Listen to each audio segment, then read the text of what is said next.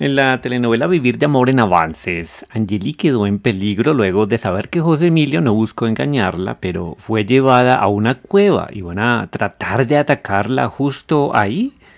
¿Quién la va a salvar? Pues no va a ser José Emilio.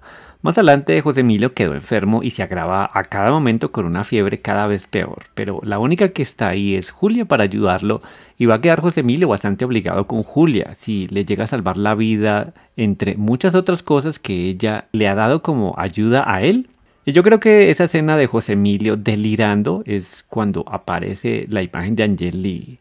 Finalmente Rebeca es raptada por Misael, lo que quiere decir que va a empezar una guerra contra Misael. Y en eso puede que hasta la propia mamá de Rebeca quede afectada por lo que está ocurriendo con Misael. Déjenme un comentario y nos vemos en el próximo video.